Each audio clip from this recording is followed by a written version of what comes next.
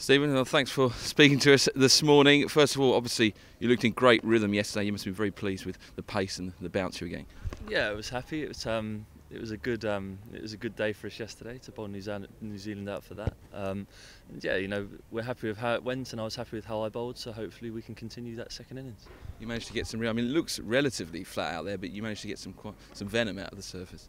Yeah, I think it's quite. Uh, it's becoming quite an abrasive surface, which will bring Swanee into the game, um, as he did first innings, but even more so in the second innings.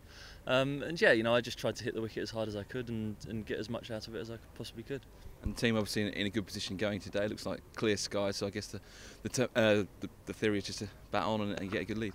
Yeah, I think we'll, we'll reassess at stages throughout the day, but initially we'll look to get ourselves in a good position. Um, and then when the time's right, I'm sure we'll pull out and try and put some pressure on New Zealand. But there's a lot of work for us to do for us to get into that good position, um, and that's all we'll be focusing on first. You mentioned Swanee. Was it good to see him back amongst the wickets for England? I guess he was his normal chirpy self afterwards. Yes, he was. Yeah, I think he called his first wicket that he was going to get, um, and yeah, it was great to see him back out there spinning them through the gate. Um, it's always really nice to see someone someone doing that. It's entertaining, um, and it was Swanee as well. It was great.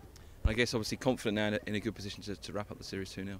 Um, yeah, we'll be looking to win the game, obviously, first and foremost. Um, but yeah, you know, we'll have to take it stage by stage and step by step today. Um, but yeah, we'll be looking to win this game at some stage.